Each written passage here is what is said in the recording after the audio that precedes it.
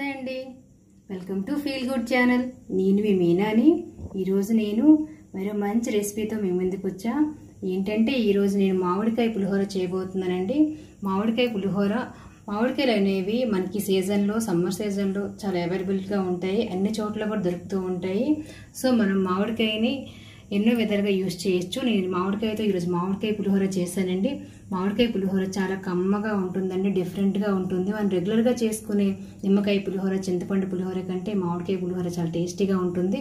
మీరు కూడా చాలా మీరు ట్రై చేయండి నాకు కామెంట్ చేయండి ఓకేనా? మనం ఇప్పుడు మామిడికాయ పులిహోరకు కావాల్సిన పదార్థాలు తయారీ విధానం చూద్దాము. మీరు నా ఛానల్కి కొత్తగా వచ్చినట్లయితే నా ఛానల్ని సబ్స్క్రైబ్ చేయండి. అలాగే నా వీడియోస్ అన్నిటిని లైక్ చేయండి. నా వీడియోస్ని మీ ఫ్రెండ్స్తో అండ్ ఫ్యామిలీతో షేర్ చేయండి. ఓకేనా? Thank you.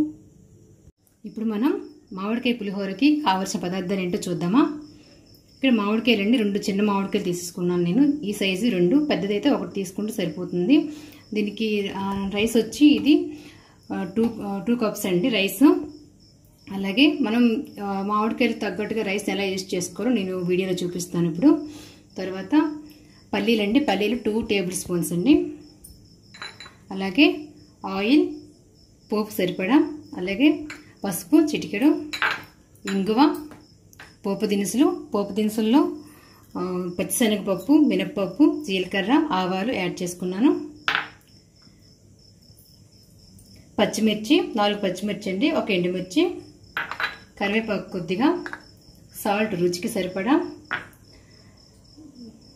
ఇక మామిడికాయ ఈ రెండు మామిడికాయలు నేను మామిడికాయలు నేను తురుము పెట్టుకున్నాను ముందేని. ఏంటంటే మామిడికాయలు ఈ విధంగా మనం మిక్సీలో గ్రైండ్ చేయకుండా ఈ విధంగా తురుము పెట్టుకుంటే బాగుంటుంది. ఇలాంటి చాపర్ మీ ఇంట్లో ఉంటే ఈ విధంగా తురుము పెట్టేసుకోండి. లేదు చాపర్ లేదు అంటే మీరు మిక్సీలోని చిన్న చిన్నగా ముక్కలుగా కట్ చేసి మిక్సీలో ముద్దగా చేసుకోవచ్చు. కొంచెం పొడి పొడిగా ముద్దలా చేసుకోవాలి. ఓకేనా? మనం తయారీ విధానం చూద్దామా? చూడండి స్టవ్ మీద ఒక ప్యాన్ పెట్టుకొని అందులో టూ టేబుల్ స్పూన్స్ ఆయిల్ వేసుకొని మనం ముందుగా పల్లీలను వేయించుకుందాం.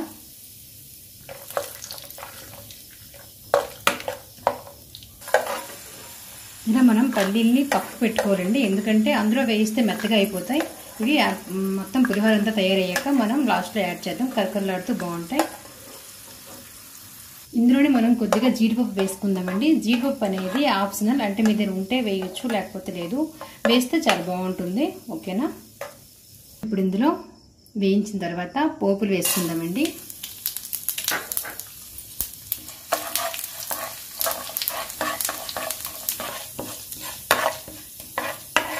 పోపులు కొద్దిగా వేగాక పచ్చిమిర్చి యాడ్ చేద్దాం.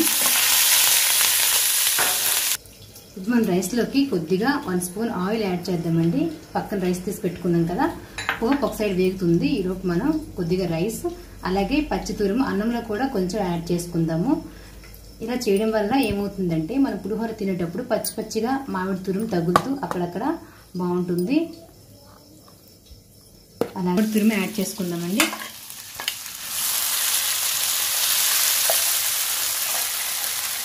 ఈ విధంగా వేయించుకోరండి ఇప్పుడు మనం కరివేపాకు రెబ్బలు వేద్దాం.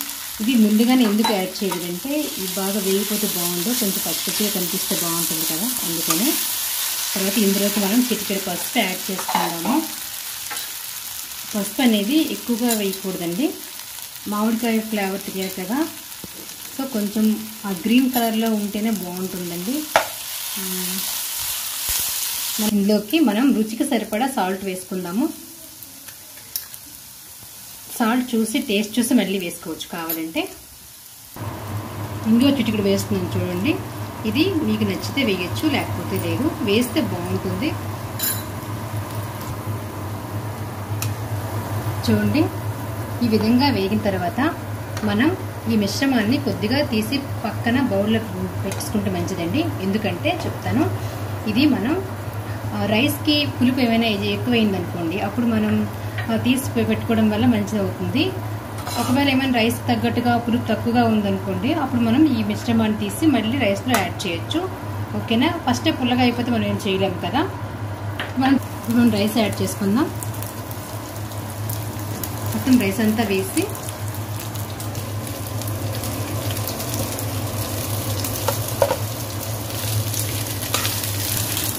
రైస్ వేసి ఇలా నెమ్మదిగా కలుపుతూ ఉండాలండి.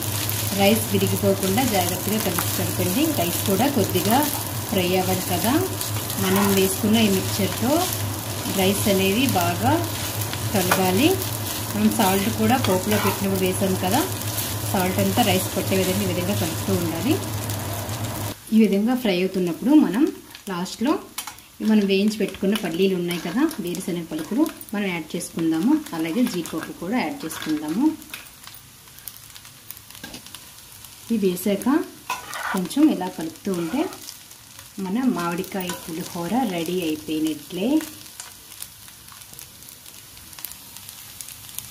చూడండి ఎంత కలర్ఫుల్గా ఉందో టెంప్టింగ్గా ఉంది కదా. చూడండి ఈ విధంగా ఫ్రై అయ్యాక మనం స్టవ్ ఆఫ్ చేసుకొని సర్వింగ్ ప్లేట్లోకి ఈ పులిహోరని తీసుకుందాము. చూడండి మనం తయారు చేసుకున్న మామిడికాయ పులిహోరని నేను ఈ విధంగా సర్వింగ్ ప్లేట్లో తీసుకున్నాను. చాలా కమ్మనైన టేస్ట్ అయిన మంచి పులిహోర రెడీ అయిందండి. మీరు కూడా తప్పకుండా ట్రై చేయండి. సమ్మర్లో మనకి మామిడికాయలు ఎక్కువ దొరుకుతాయి కదా సో మీరు తప్పకుండా ట్రై చేయండి. మనకి విలేజ్లో అయితే నిమ్మకాయల కంటే మామిడికాయలు ఎక్కువ దొరుకుతుంటాయి. సో ఈ కాలం అంతా మామిడికాయలతో బాగా ఎంజాయ్ చేయండి. మీరు తప్పకుండా ట్రై చేసి ఎలా ఉందో నాకు కామెంట్ బాక్స్లో కామెంట్ చేయండి. ఓకేనా థ్యాంక్ యూ